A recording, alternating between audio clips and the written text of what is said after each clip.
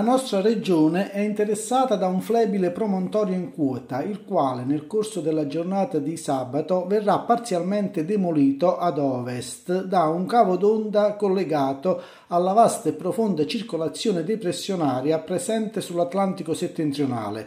Si tratta della depressione semipermanente di Slanta che nei prossimi giorni si allungherà verso sud-est nel tentativo di determinare un cambio di circolazione sul Mediterraneo con l'inserimento di correnti meridionali a curvatura ciclonica. Autunno dunque che presenterà probabilmente il suo biglietto da visita nel corso della prossima settimana con le prime tempeste equinoziali che interesseranno gran parte delle regioni italiane. Ma veniamo al tempo previsto per questo fine settimana. Sabato 2 ottobre, cielo irregolarmente nuvoloso con addensamenti consistenti nel corso del pomeriggio nelle aree a ridosso dei rilievi esposti ad ovest, dove potrebbero verificarsi isolati rovesci. I fenomeni più intensi dovrebbero verificarsi in mare aperto e progredire verso la costa nel corso della serata e nottata su domenica. Temperature senza particolari variazioni, venti deboli di direzione variabile con una maggiore componente meridionale, mare mosso.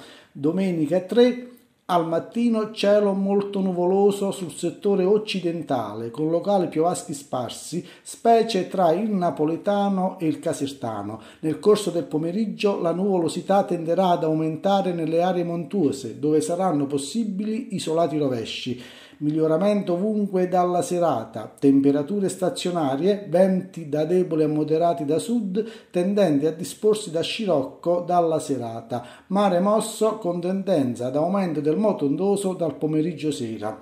Eh, lunedì la circolazione depressionaria presente in Atlantico si avvicinerà alla nostra penisola, convogliando sulla nostra regione intense correnti sciroccali che determineranno un temporaneo aumento delle temperature, soprattutto nei valori minimi.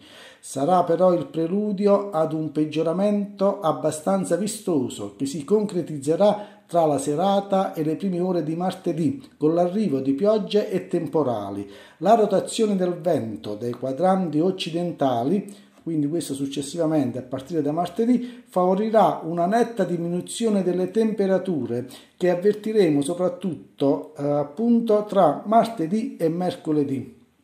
Prossima settimana dunque che si annuncia di stampo autunnale con fenomenologia che potrebbe rilevarsi anche intensa, ma eh, su questo occorre riaggiornarsi e pertanto invito i telespettatori a consultare i prossimi aggiornamenti che verranno pubblicati sul sito www.meteogiuliacci.it e sul gruppo Facebook Meteo Cilento. Bene, termino qui, un buon fine settimana da Giuseppe Stabile.